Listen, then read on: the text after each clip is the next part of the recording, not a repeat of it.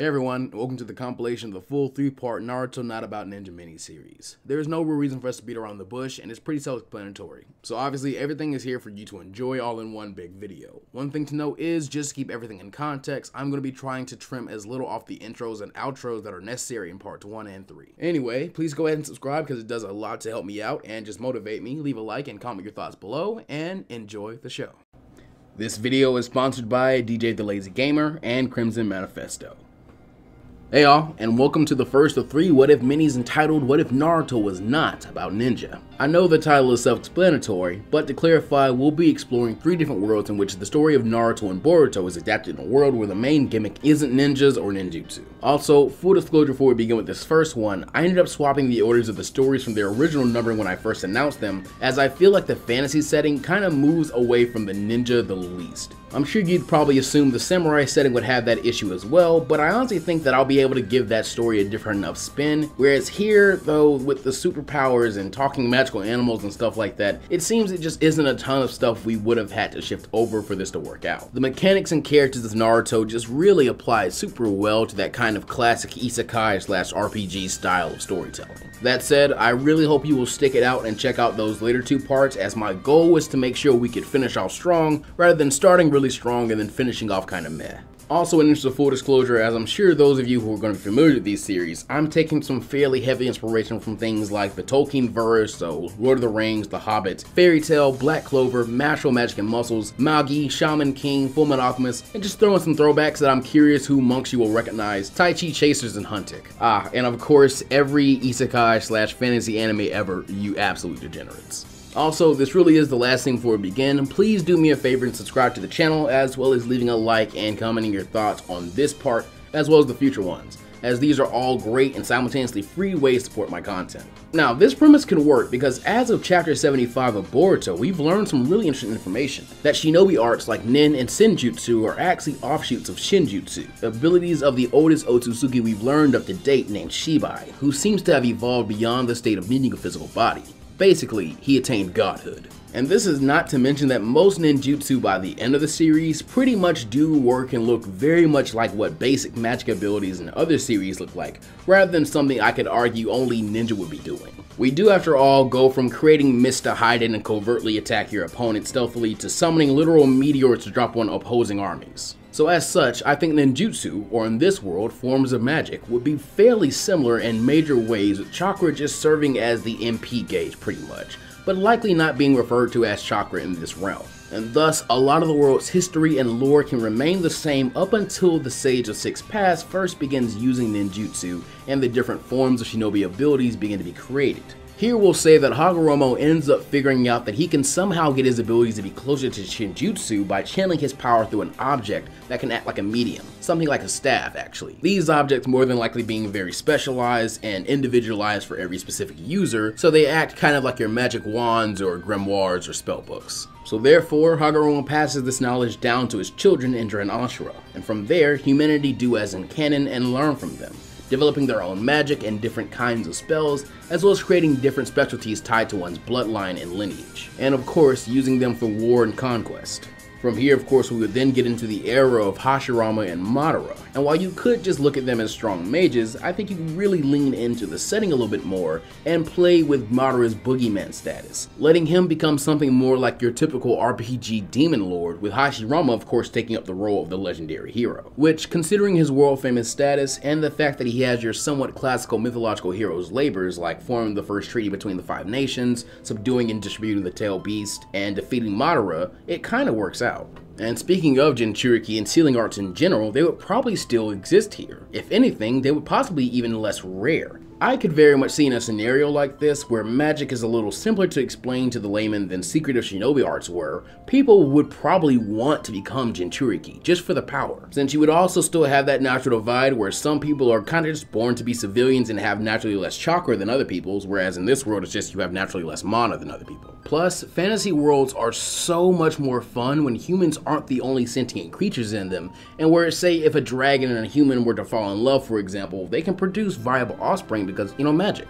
And this would tie magnificently into the original concept of Kekkei Genkai, So while I won't waste time listing all the different kinds of races our characters could be here, you'll notice that a few familiar faces aren't referred to as human. Like for example, in this world, the Uchiha will be referred to as Dark Elves, whereas the Hyuga, even though they don't really come up much here, are your more common Wood Elves. Also, in terms of groundwork kinda laid out for lore reasons, they obviously wouldn't be referring to any major conflicts as Shinobi World Wars but maybe it's just World Wars, since I don't think everyone would be a straight up magic wand waving wizard, but rather would use their chakra or their magic slash Kekkei Genkai in some similar ways as they did as ninja. The most notable thing is that most forms of physical or stealth combat from the ninja world would be fairly rare in this one. Or like, since I think summoning magic would be its own kind of thing that some people specialize in, you could kind of see what I was talking about earlier with some people kind of seeking out being Jinchuriki and maybe trying to find ways to seal certain summons inside of themselves, creating kind of a graded Jinchuriki system the same way Shinobi are ranked in terms of danger. Though admittedly, this could certainly be a fruitless effort since the tail beasts are actually masses of sentient chakra, while summons like Gamabunta for example are implied to be physically flesh and blood like the Shinobi who summoned them. Still though, they are pretty much just naturally occurring animals with higher than normal levels of chakra.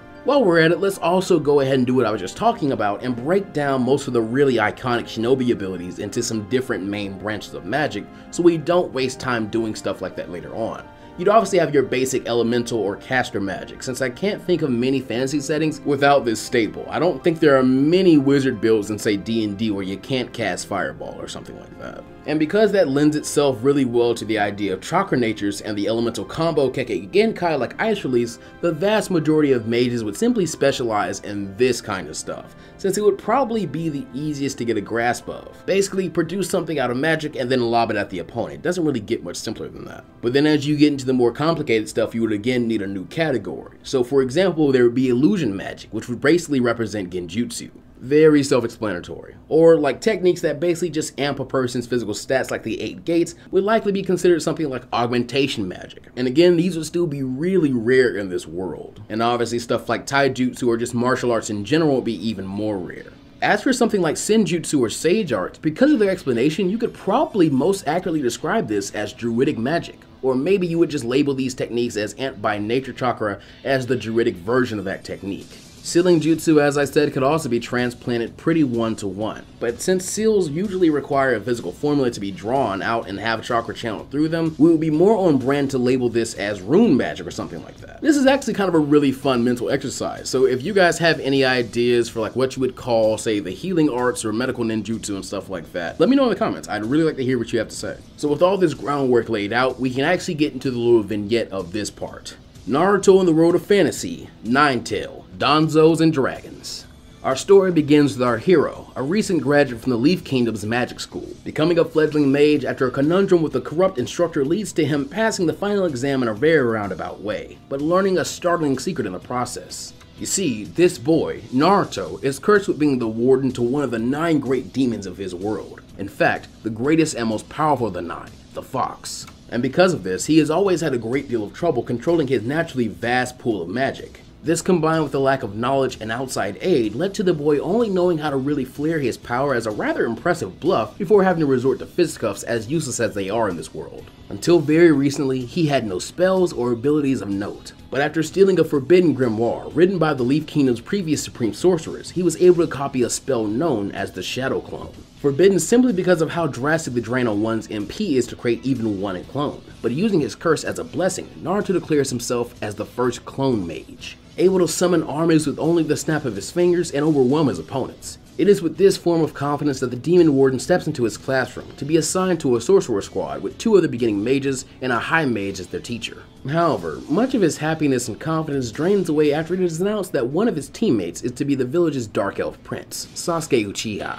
Also, very quick note, I'm just now thinking to clarify this. I know I called Madara a demon, but we're gonna say that it's a title, just like Hashirama's hero status was. And unfortunately, despite his best efforts, this perfect bastard and Naruto have never really gotten along. Partially due to his own immaturity and unwillingness to open up after being shunned by the kingdom, and partially because everything about the elf pissed him off. However, his mood is instantly improved once his half-orc crush Sakura Haruno is announced to be the final team member, causing the girl to seem torn between being happy and mortified. As they are announced as Team 7, they are told to wait for a sorcerer named Kakashi Hatake, who will serve as their teacher. He is of course late and after enduring a prank from Naruto decides he isn't too fond of the trio so far.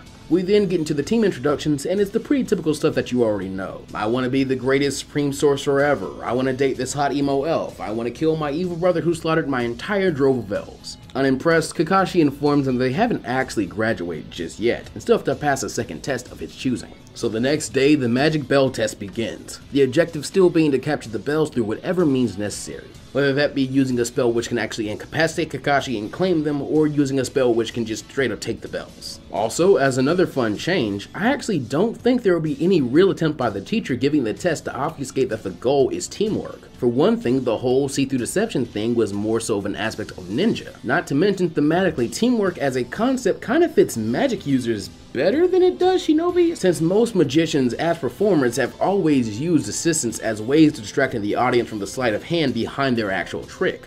There would likely just be three bells, and the objective would just be to coordinate and successfully capture the bells straightforwardly. Even so, this dysfunctional trio bicker instead of forming a plan, with Naruto wanting to take center stage instead of Sasuke, as Sakura demands he fill the role as the future couple's assistant. Fed up with this, the clone mage decides to go it alone. Using his very body as a conduit for his vast magic, he fills their training ground with a hundred doppelgangers, all ready for battle. However, with the wave of his staff, Kakashi reveals that his magic is that of copying, and thus, with some fatigue, it's able to reduce Naruto's number advantage with only 10 clones of his own which are easily able to mow the blonde army down with low-level spells the copy mage had picked up over the years. Scoffing that she expected as much, Sakura steps up next and removes a massive battle axe used as her conduit from her back with ease. Channeling her muscle magic through it, she slams the weapon into the ground and creates a large fissure in order to swallow up the older mage, only willing to release him if he relinquishes the bells for her and Sasuke. But instead, simply copying her magic, Kakashi is easily able to jump out of the chasm and simply flicks a rock at the half-orc, which pings between her eyes, leaving her in a heap alongside Naruto.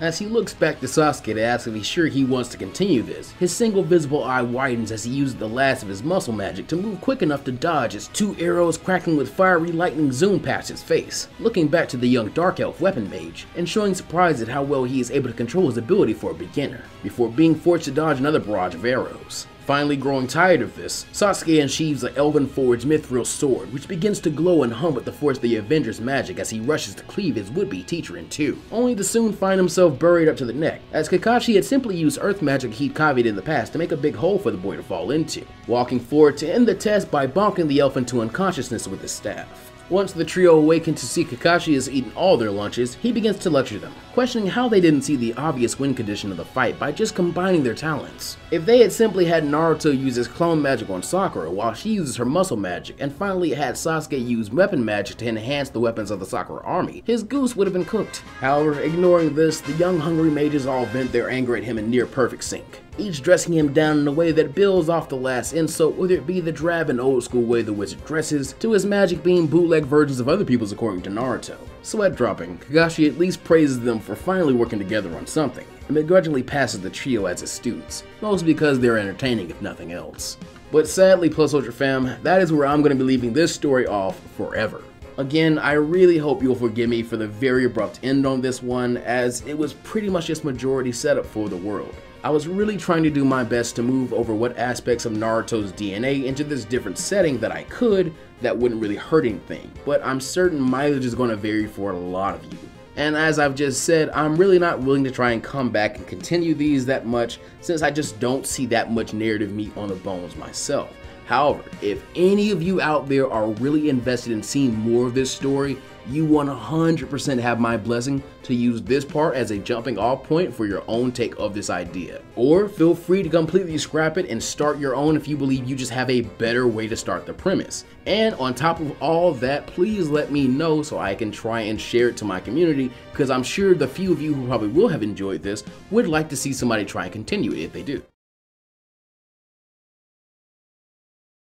Hey guys, and welcome to part 2 of 3 of the What If Naruto Was Not About Ninja miniseries. This one is called Guts, the samurai who smells of ramen broths. I'm not gonna waste any time setting up the premise of the project this time as I did all that in part 1, so if you need a refresher, go give it a watch and then come back here afterwards. Before you do though, make sure you subscribe, turn on your notifications so you never miss an upload, and leave a like and a comment to make your view and this video's performance four times as effective. Now a few of you familiar with samurai shonen or just Edo period based stories in general are gonna be able to tell a lot of my inspiration are Gintama, Samurai 8, even though admittedly not much since I actually haven't really read it, and it's actually about sci-fi concepts if I'm not mistaken. The Elusive Samurai, Champloo, pretty much all of One Piece's Wano arc, Vagabond, and even that one iconic shonen manga, a lot of people find difficult to talk about or try and enjoy, since it can sometimes be hard to separate an artist from their art. Also, unlike last part, I am not going to set up a bunch of world building. The basics will be it's just Naruto using samurai swords, so much more straightforward and honor-bound kenjutsu kind of combat. Shinobi and some ninjutsu will still exist here, but they're more so going to be the one-hit kill shot stuff, because you know, Shinobi weren't really supposed to fight, and if they did, it was supposed to be to assassinate, so it's going to be things like the Rasengan, the Chidori, stuff that if you're going to use, you know you're going to take the opponent down. Otherwise, there aren't going to be any clone ninjutsu, any substitutions, none of that kind of stuff, no genjutsu, any of that which kind of isn't really straightforward, you know, fighting combat is going to be frowned upon and not really taught in this world. As for the lore here, most of the history of Naruto's world will remain very much the same. You already have the Land of Iron and Samurai there, so we're just kind of moving that to be the main setting of stories. Thus, Madara and Hashirama are born in the Land of Iron instead of Fire, and when they go out and achieve their ambitions, it is as samurai fighting for the same nation state rather than shinobi. And like I said, chakra and things like Kekkei still do exist, so Hashirama's Kekkei still manifests, but he mostly just uses it to create sturdy bokens or training swords, capable of withstanding his great power. He partially does this because he doesn't actually like to kill his enemies, and thus made a Kenjutsu style based around non-lethality, a special rarity among the myriad of different ways of war the samurai of the world have devised to use their chakra for, while Madara's Kekkei and power have evolved into a swift and merciless hand of dark justice, allowing him to see into the very soul and the weakest points of anyone's heart when he fights them, and basing his philosophy around slaying evil immediately. However, unlike Hashirama's original goal for peace in the main timeline, this time he sees the path to peace as much more largely paved through using order and unity, these also being important tenets in his Bushido code, and thus he sets out to unify the world under a single banner, alongside Madara, who in this world is both a more loyal warrior and someone whose code inclines him to agree with his friend.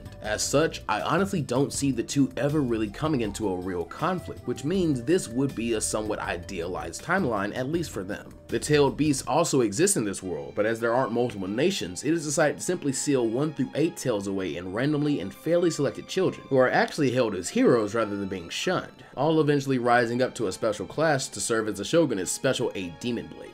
However, the Nine Tails as the most powerful, hateful, and unruly is forbidden to be sealed in anyone, and every time it reforms a stronger hate than the last time, the world of samurai band together to kill it once again. And so time passes, as new generations and leaders come. The heir of the second shogun, Tobirama, and his right hand Izuna, is an easy heir to transition to. Being younger brothers of the first shogunate leaders, their rule hardly varies. The third era is just as smooth a transition, as the new shogun Hiruzen and his lieutenant Danzo are the students of the second. But finally, great change comes in the fourth, as a shogun by the name of Minato Namikaze, supported by a descendant of Madara himself named Fugaku as his right hand, succeed Hashirama and Madara's legacy. However, for some unprecedented reason, Minato decides to break tradition and seals the Nine Tails inside his newborn son. Instantly, the world turns on him, shunning he and his wife the Oida on Kushina as apostates and fellow demons on their world. But after successfully hiding their child, Minato and Kushina fight the very world itself. The conflict only coming to an end when they are captured by Fugaku and are forced to slit their bellies in order to stop the hunt for their child.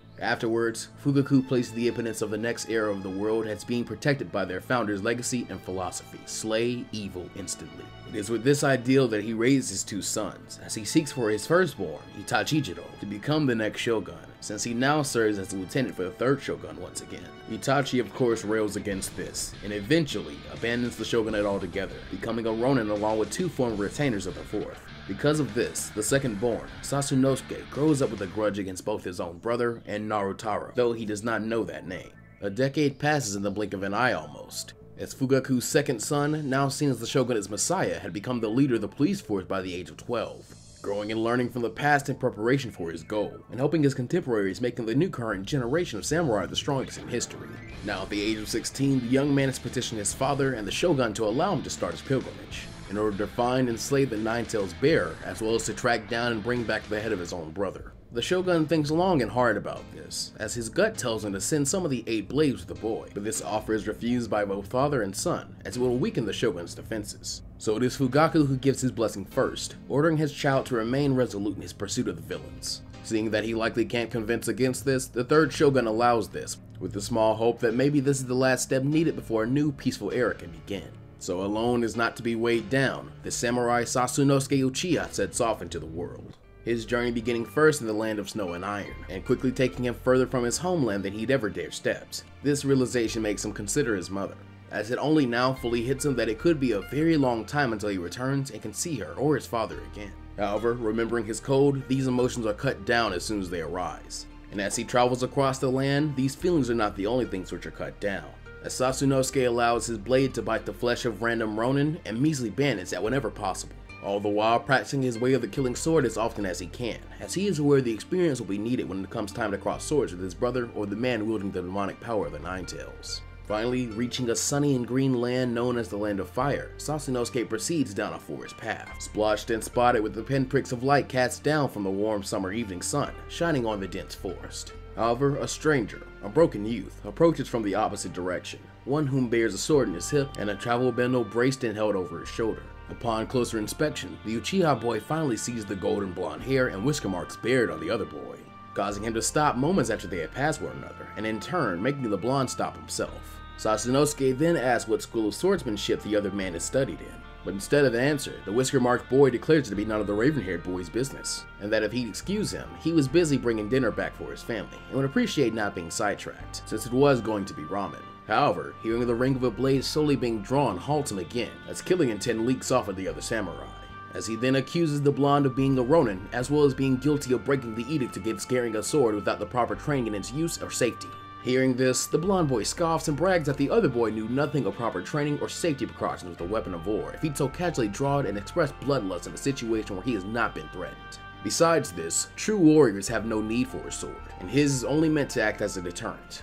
However, Sasunosuke clarifies that he isn't doing this just because of his duty to uphold the law, but also because he knows the boy's true identity as the Nine Tails Bearer. And with that accusation, the black-haired swordsman draws his blade and slices with full intent to kill only failing due to his opponent drawing his sword and its metal scabbard up to block the blow entirely, thus bringing the two eye to eye for the first time. Seeing the sheathed blade, Sasunosuke demands to be taken seriously, advising that the other young man draw it if he wishes for his death to be an honorable one. However, his target politely refuses, stating men like him who've been shunned by the world have no need for honor. And to prove this, his free hand holding his bindle suddenly raises allowing the little pouch of ramen ingredients to plop to the floor, thus freeing the stick for full movement, which is taken advantage of to suddenly come down and be cracked in two on Sasuke head. While he reels from the blow, instead of retreating backwards, he drives his knee into the exposed gut of the blonde, with enough force to send him skidding back and create a gap between them. Remembering his station, Sasunosuke announced his name, title, and destiny, part of those stated ambitions getting a slight twitch of reaction from Narutaro that the black-haired swordsman assumes is shock at being hated long before this meeting. After an awkward cicada chirp-filled silence, the samurai demands the Ronin give him his name, causing the blonde to sigh and rudely comply. Smirking, Sasunosuke then says he'll be sure they spell it correctly on his grave, as he suddenly becomes a blur of motion, declaring the technique to be his Shadowhawk's talon. In the next instant, having crossed the distance between them, and even drawn blood as his sword is already about to leave Narutaro headless, if not for the pacifistic samurai leaning back to allow the attack to sail harmlessly overhead. Growling in retaliation and channeling his chakra, Naruto swings his sheathed blade towards the ground like a club, and is able to send a cloud of dirt and high-speed hail of stones at the Uchiha.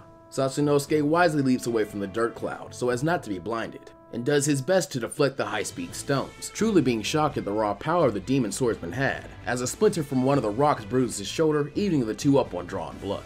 Exasperated, Narutaro declares this to be enough as he doesn't want to kill the black swordsman, but will if he must. However, this only serves to enrage Sasunosuke, as he once again uses his fast-paced and ultra-disciplined technique-based Uchiha school of Kenjutsu to try and cut his opponent down roaring furiously that he can't be killed by a coward who refused to draw their blade, and leaving Narutaro on the defensive as he does his best to block or dodge every blow given to him, finally getting an opening for a counterattack after the samurai's last high-speed thrust misses him, allowing an opening for Narutaro to reverse his grip on his sword so that he now holds it upside down by the tip of its scabbard, at which point he swings it for only the second time during the conflict, sending the handle of the blade crashing into Sasunosuke's midsection to draw the air from his lungs, and even forcing him to double over in pain and exhaustion.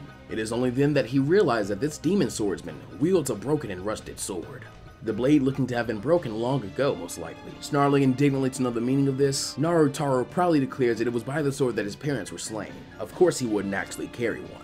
More furious than ever, Sasunosuke pushes past the point of caring for his honor, and so frees his hand to weave shinobi signs, causing the blonde warrior to gasp in shock, as suddenly Sasunosuke's blade begins to crackle with electricity and this time when he charges, it is at a pace that would make a lightning bolt appear like molasses, declaring that a demon has no right to lecture an officer of the shogunate about justice and morality, but if winning this battle means using techniques that require the discarding of his honor, then so be it. Narutaro tries to block the electrified attack, but instead of halting it, his scabbard is merely sliced through as if nothing more than a block of tofu, leaving him shocked both literally and physically as Sasunosuke goes for the killing blow. However, instead of his blade slicing clean through flesh, instead it is halted in mid-air, as Narutaro has formed a glowing ball of spiraling energy in order to cancel out Sasunosuke's shinobi assassination technique. More importantly, allowing him to catch and snap Sasunosuke's sword, which stuns the Uchiha as he prepares to roar the insolence to destroy a weapon used by his ancestor Izuna, only to instead end up biting his tongue as his eyes are shot to the back of his skull, thanks to the demon swordsman driving an uppercut into his chin strong enough to lift his feet off the ground and leave him nearly unconscious as he lands flat on his back, unable to move. As he watches Narutaro grumpily remake his bendo and begin to walk away,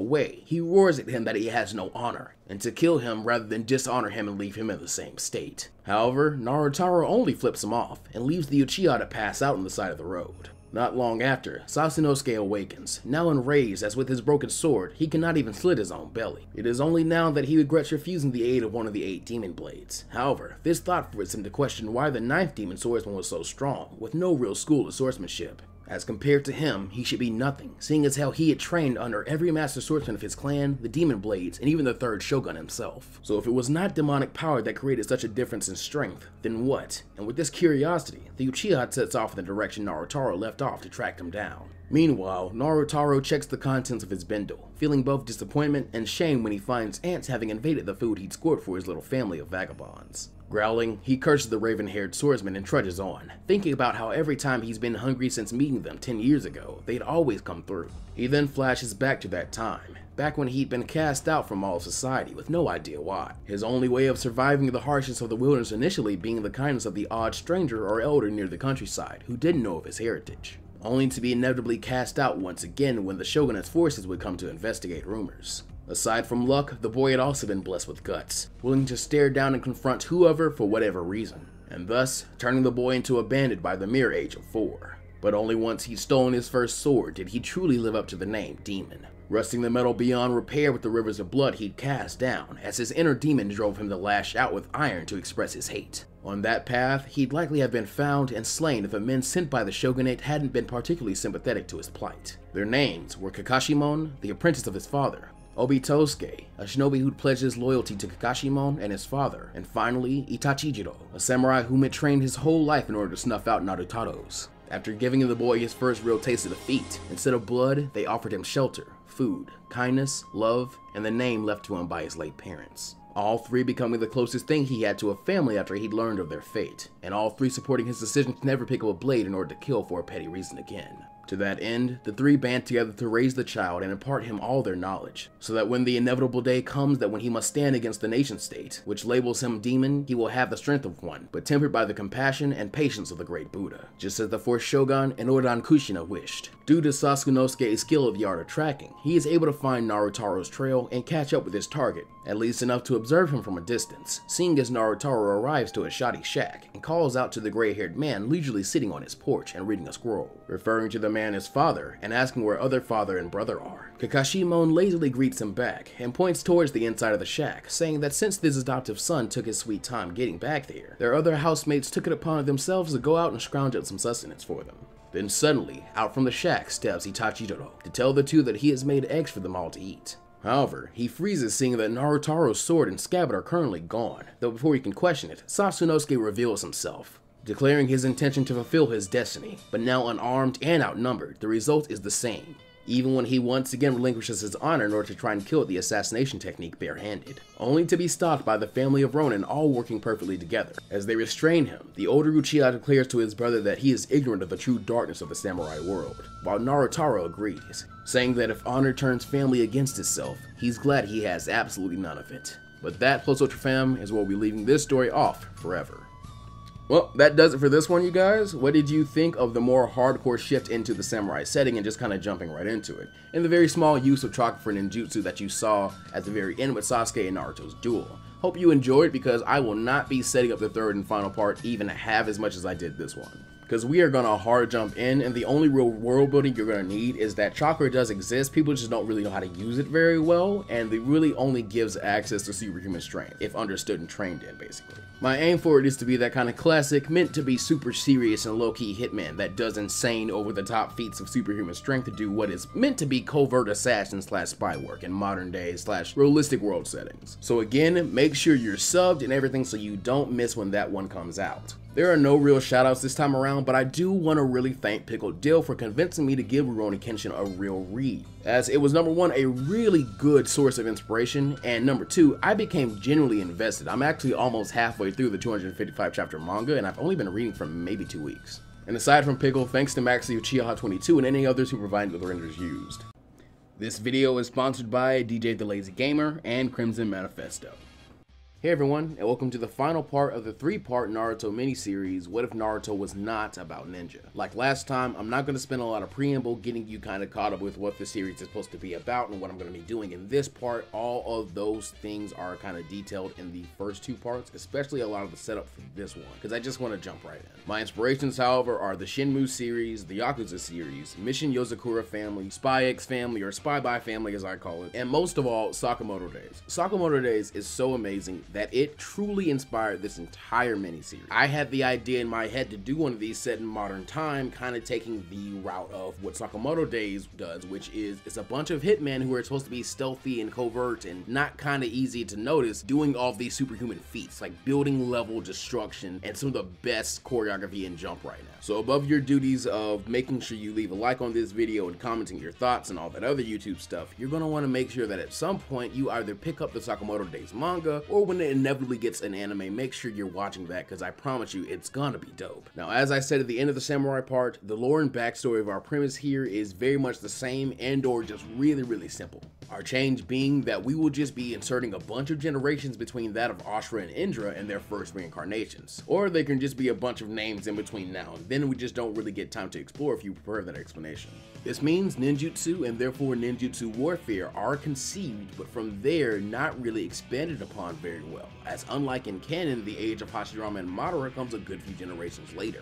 By the time they do, however, a large amount of the shinobi arts have already begun to be lost to time, with a very select few capable of molding their chakra able to do more than enhance themselves for superhuman abilities. And this is why it is so important to write down, record, and pass down traditions and historical things that you actually want to preserve. Also, just as an aesthetic difference of this world, the tail beasts don't necessarily emerge as beasts. When Hagoromo splits this universe's ten tails, the Biju are more in this context a set of nine ancient personas a killer can slip into and their physical manifestation is basically just a big chakra ghost, kind of like we see Kurama do later in Boruto, or reminiscent to the Shinigami. This is sort of like the concept of developing a persona to bear the moral weight and blame for any atrocious actions a Jinchuriki may take, casting the Jinchuriki more realistically as a flawed or afflicted person, reacting naturally to a harmful environment. And because of this nature of the tailed beast, most civilians think of them a little more so as urban legends than as actual factual things that can deal damage to them and kind of affect their lives. So among some of the really amazing things we're going to be losing out out on this world, like the Naruto world's really interesting and story-rich kind of architecture that we're not going to be able to have here. We are also, of course, losing our access to kaiju battles. The five great nations eventually come into enough skirmishes to consolidate most of the world between three major countries, made up of the remnants of the Hidden Leaf, Stone, Cloud, Mist, and Sand villages, and more than likely including some smaller yet nonetheless noteworthy villages, which would also eventually be absorbed into the conflict via proximity, a la wave, waterfall, whirlpool, or rain civilization, machinery, and political slash monetary ambitions begin to shift the world over into one that much more resembles our own. A world where if hypothetically powerful people were to need certain people to be past tense, they'd want it done subtly and professionally. This is Naruto in the world of assassins. Jinchuriki, Shadows of the Day. Our story begins with Ramen, and more importantly, the boy selling it. A 16 year old orphan street kid with no family, future, or even a name to call his own.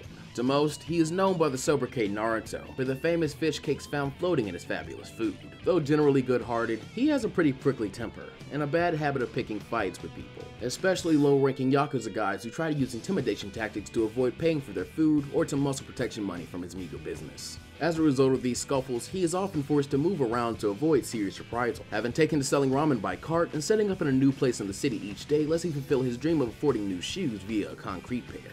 However, no matter where he goes, one regular customer always seems to find him. a man by the name of Iruka, who sports a wicked looking scar across the bridge of his nose and a stylized leaf tattoo on his neck. Naruto is street smart enough to know that Iruka probably hails from the Leaf, one of the underworld's most notorious rumored assassin schools, where aspiring hitmen undergo an intensive three-year training program to learn how to not only kill, but kill their own weaknesses. The assassin schools were not a well-kept secret, the concept that shadows in the day pull certain strings not being new or even unique to this world. But that doesn't matter to the blonde, since to him, Iruka is amiable, loyal, and always leaves a sizable tip. Where that money is sourced from isn't his problem. The only downside to Iruka's patronage is that when he's around, other people tend to give the card a wide berth. However, that is not the case today, as after Iruka places his standard order, a large arm with extra Naruto Maki fish cakes, another man with shaggy pale blue hair approaches. There is something shifty to this guy's eyes, but even still, Naruto doesn't discriminate when it comes to customers. Asking the man what he'd like, a predatory smile then forms on his lips, as in a mild tone he replies that he'd like Naruto's head in a box for his boss. Taking this for a bad joke, Naruto nervously chuckles and replies that though he's named after a fish cake, he doesn't really taste as good as one. But when the shaggy-haired man's demeanor doesn't change, Naruto realizes this isn't a joke. The shifty man then pulls out a switchblade, leering that it's nothing personal. His boss just thinks the kid's gonna be a problem down the line, so now he's gotta do the icky job. Mouth suddenly dry, Naruto can't think of any words to defend himself, and so suddenly starts to back away from the cart. Unfortunately, far too soon for his liking, his back butts up against a brick wall, and though he wills himself to run, his legs are frozen. Then, just before the blue-haired man can descend upon him, Iruka appears behind him, planting a blade of his own right at the attacker's throat right on his leaf tattoo. Furiously, Iruka asks the man who he calls Mizuki what he thinks he's doing, and with an equally furious whisper, Mizuki tells Iruka, who he addresses with the honorific San, clarifying that Underboss Shimura ordered this. Sighing, Iruka calls the Underboss's plan short-sighted, since he's already so close to confirming Boss Third's hunch. But Mizuki shrugs that it's not for a grunt like him to question, he just whacks who the higher-ups say. Seeing that they won't be able to talk this out, Iruka barks at Naruto to run, and this at last snaps the boy out of his fear, causing him to sprint as though his life depends on it, which in this case, it does. Behind him, Naruto hears the sound of punches being thrown, and a grunt from who he can only assume is Iruka. But he doesn't dare to look back. He doesn't have time to check on the scarred man. He doesn't have time to make sure his card hasn't been stolen. All he can do is keep his eyes forward and get away from Mizuki as fast as he can.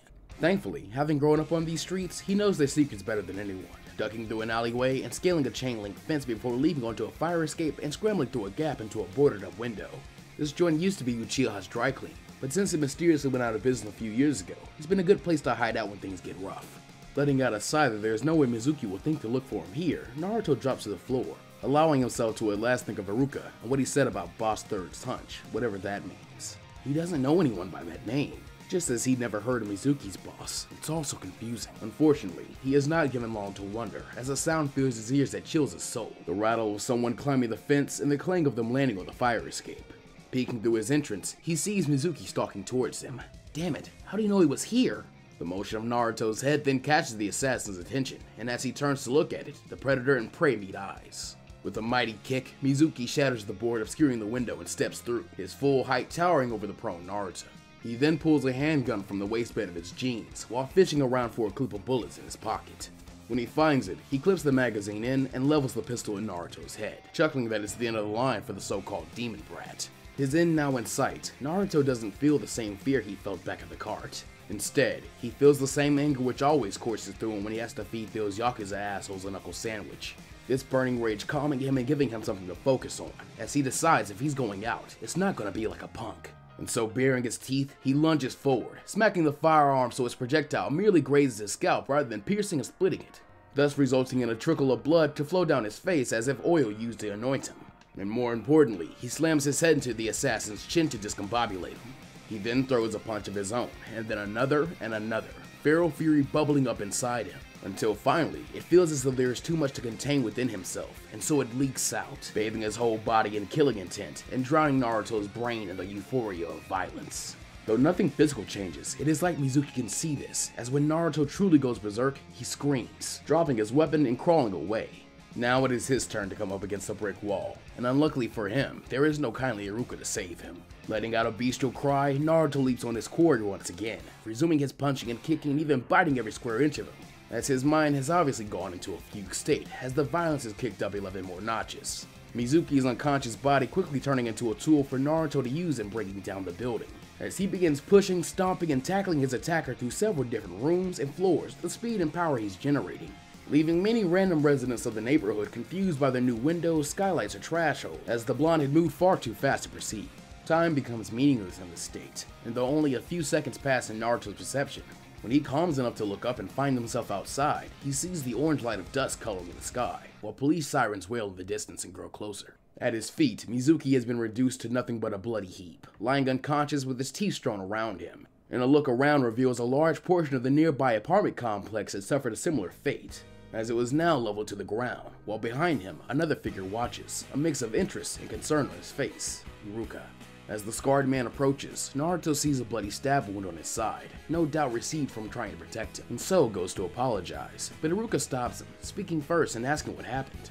Naruto admits that he doesn't really know. Sometimes when he gets in scraps, his mind gets a bit hazy, but he's never fully blacked out like this before.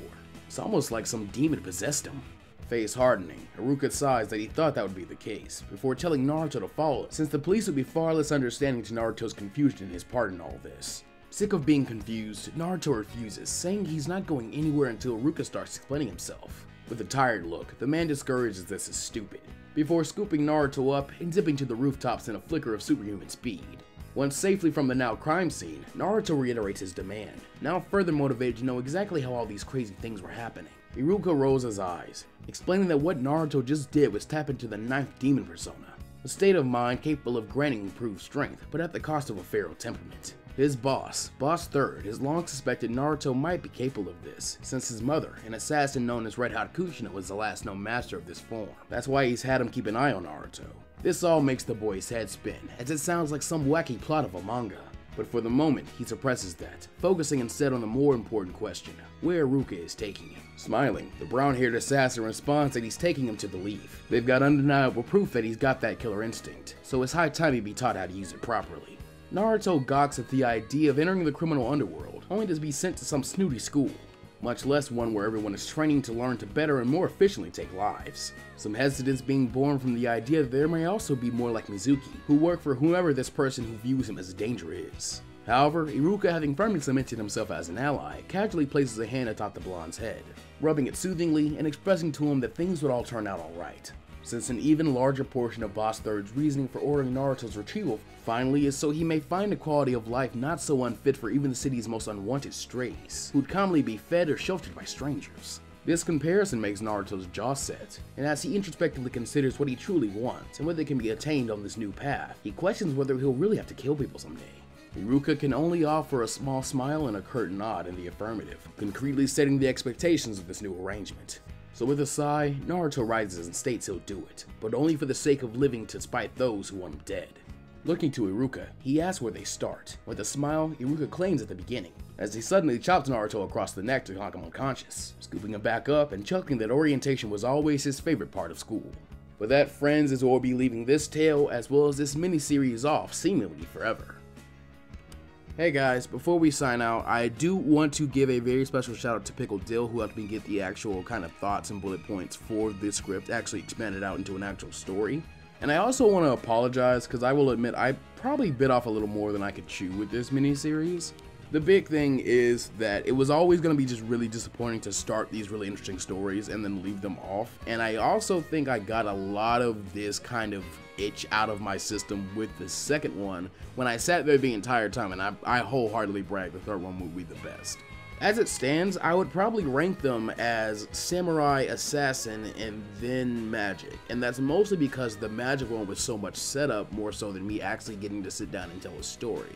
My biggest issue with this one really comes down to the fact that it just feels a little too generic to me. Like if I read this in an actual manga, I don't think I would be as hooked as I would want to be. But you know, if I actually spent the time that would be taken for the first chapter of a manga, you know, 50 pages or 60 pages, um, this part would have been way longer. It would have covered a lot more. It would have showed a lot more of the the actual like the training Naruto's about to go into, you set up the school system and stuff like that. So I do cut it off right before he gets to the most interesting part. I do recognize that. And because of that, I am probably a little more open to continuing any of my runs of these, probably in some podcast forms, not really in full story, because I do think these are still not necessarily suited for full stories, at least for me. But I'm a little more open to doing more with these than I was when I first started. Something else is I've actually already had a few of you reach out to me to let me know like, hey, you do want to give your own takes on these, or you do want to kind of start from where I started. So one thing I'm going to try and do, and I, I do want you guys to kind of stay on me and remind me to do this, is I want to pin a comment that'll just kind of be my notes of where I would go from where I left off with the first three parts, or if you didn't want to use those versions, what I would consider when writing my own version of this kind of same prompt. Other than that, I am going to go ahead and just let this series be done because it does feel like a bit of a trap to get stuck in a rut of thinking like, oh, these all have to be perfect, especially when right now they're not that popular with you guys. I think they'll probably be a little better received when they're all kind of compiled together, which is also why I'm going to be editing this one podcast style. That plus the fact that it's kind of New Year's and I'm still trying to relax a little bit and I'm still a little sick. So please let me know what you thought of this last part as well as the miniseries as a whole. Look out for those notes. I'm going to try and get those to you guys as well. And last but not least, I'm going to go ahead and shout out our patrons and get on, on out of here. Crimson Manifesto, DJ the Lazy Gamer, Dominique, Knuckles OX, Pizza 15X, Aaron Winters, Narku, Normandy 1998, Jay Ray, Stephen Norton, Shao P, Anthony Canales, Daniel Smith, Inebriated, Infernate Beast 326, Jamal Hayden, Kevin, Adrian Carr, Samuel Viveros, Vegito Gaming 78, and Zach Haji.